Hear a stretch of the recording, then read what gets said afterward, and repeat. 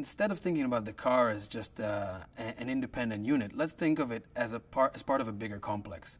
So car has to a car has to live with other cars, and it's in an urban context. So if we think about all of this acting together, maybe smart means something more than the car knows me and can help me get to where I want to get.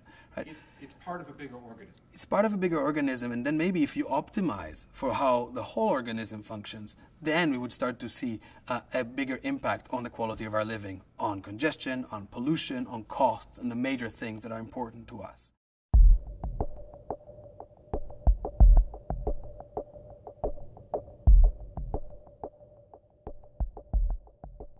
Maybe our future city won't look uh, so different physically, but it will function radically different.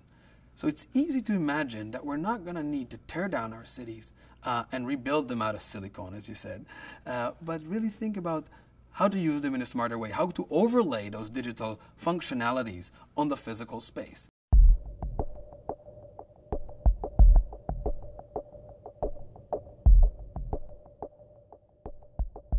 In a sense, you can start to think about the city almost like a computer in the open air. Now, we have a great opportunity of starting to program it, right? People are reporting what they do open to the public. So, you know, user generated content is telling us a lot about what's going on as well. You, the individual at home, the startup, the city hall, the corporation, we can start to provide services to the city by writing code, by doing digital interventions in the physical city to make it better, to allow for better allocation of resources. Systems could flow more seamlessly and synchronize. Um, it could have a big impact on transportation as well.